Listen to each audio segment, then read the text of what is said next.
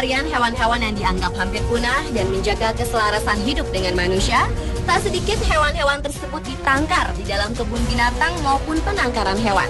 Namun terkadang naluri kehewanan mendorong mereka untuk melarikan diri ke alam bebas. Seperti yang terjadi pada hewan-hewan berikut ini. Dan on the spot telah merangkumnya dalam tujuh kasus hewan kabur.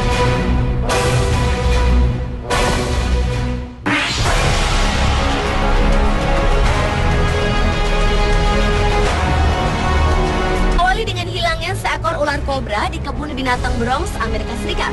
Seekor kobra Mesir betina koleksi kebun binatang Bronx ini dinyatakan hilang selama tujuh hari pada bulan Maret 2011 lalu. Walaupun kemudian dapat ditemukan kembali, namun pemberitaan secara besar-besaran di media setempat dan di akun Twitter menjadi teror tersendiri bagi warga kota Bronx. Sang betina yang memiliki panjang tubuh 20 inci ini ditemukan dalam keadaan tenang di sebuah sudut kota yang gelap. Dan pemberitaan tentang penemuannya pun membuat lega para warga. Bagi serum yang dapat mengobati teror bisa sang kobra Mesir terhadap warga kota.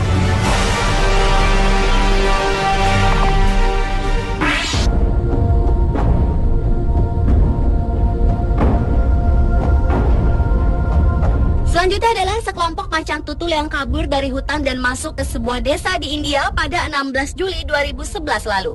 Akibat kehadiran kucing besar dengan nama latin Panthera pardus itu, sedikitnya enam orang mengalami luka parah, termasuk satu orang polisi hutan yang diterkam saat mencoba menaklukkan macan tutul tersebut. Petugas tersebut diterjang dan diterkam tepat di bagian leher. Sekelompok kucing besar yang piawai memanjat itu mencoba melawan polisi-polisi yang dianggap mengancam mereka.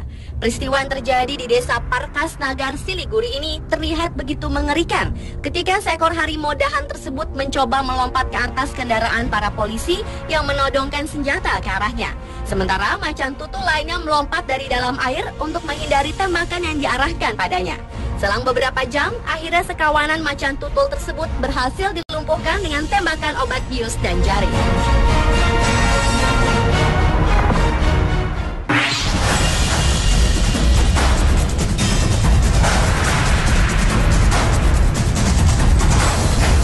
Seekor merak cantik menjadi hewan populer untuk difoto oleh warga New York, Amerika Serikat setelah kabur dari kebun binatang kota. Burung jantan ini terakhir terlihat bertengger di birai jendela sebuah apartemen di kawasan Upmarket Fifth Avenue. Pihak kebun binatang pusat mengatakan pelarian burung eksotis ini tidak akan membahayakan siapa pun.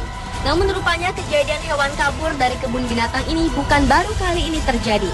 Pada bulan Mei lalu, seekor merak betina melarikan diri dari kebun binatang di Bronx dan seekor kobra melarikan diri dari kebun binatang yang sama pada bulan Maret.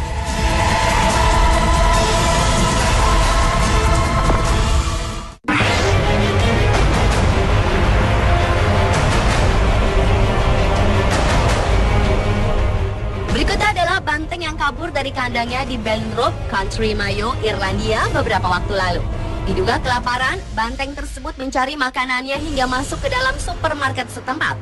Dalam sebuah rekaman video terlihat banteng berukuran cukup besar tersebut berlari ke sana kemari dan sempat menabrak beberapa barang dan juga pengunjung yang membawa troli serta seorang pengunjung lainnya. Setelah berlari tak tentu arah, akhirnya banteng itu berhasil berlari keluar supermarket setelah mengejar seorang pengunjung berjaket dan bertopi yang baru saja masuk ke supermarket. Meski tak mengakibatkan kerusakan yang terlalu parah, tetapi banyak benda berantakan karena ulah banteng tersebut.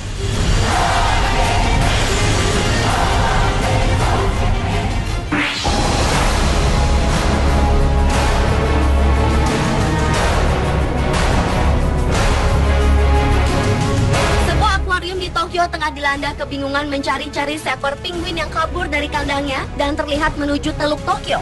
Penguin bandel ini berumur setahun dari jenis Humboldt. Diketahui tengah berenang di sebuah sungai di ibu kota Jepang itu. Seorang pejabat dari pusat akuarium pelabuhan Tokyo mengatakan unggas air ini berhasil lolos dari kandang setelah memanjat ini.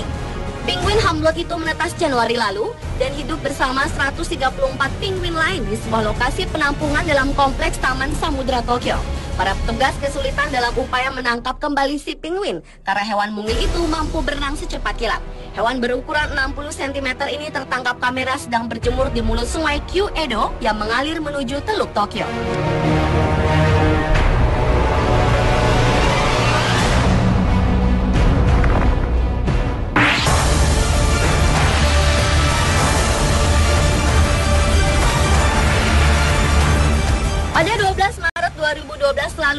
Harimau Sumatera jantan berusia 6 tahun seberat lebih dari 100 kg lepas dari kandangnya di kebun binatang Taman Rimba Jambi.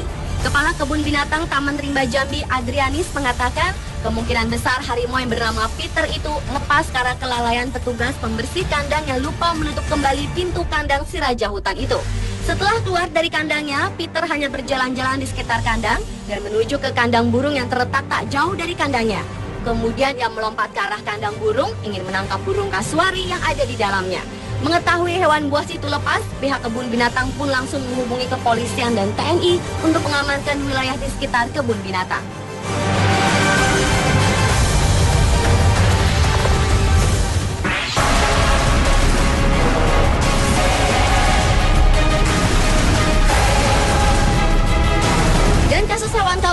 Adalah seekor gorila dewasa seberat 181 kg yang kabur dari kandangnya di kebun binatang New York, Amerika Serikat. Gorila jantan bernama Koga ini memanfaatkan kesempatan untuk kabur ketika pintu kandang tengah tak terkunci pada 19 Maret 2012. Koga kemudian pergi berkeliaran di daerah belakang yang biasa digunakan oleh penjaga kebun binatang Buffalo tersebut, namun tertutup bagi publik. Seorang wanita penjaga kebun binatang yang telah merawat Koga sejak tahun 2007 sempat digigit di bagian tangan dan betisnya saat berpapasan dengannya. Si penjaga tidak disebutkan namanya itu kemudian bersembunyi di dalam kandang seekor gorila betina yang baru saja beranak. Sementara kepolisian setempat menurunkan tim SWAT untuk menjaga wilayah sekitar kebun binatang tersebut. Serta para pengunjung kebun binatang pun dievakuasi ke dalam ruangan dan bertahan di dalam selama 45 menit. Hingga akhirnya seorang dokter hewan menggunakan pipa dan meniupkan suntikan obat bius untuk menenangkan Koga dan mengembalikannya ke dalam kandang dan dikunci rapat-rapat.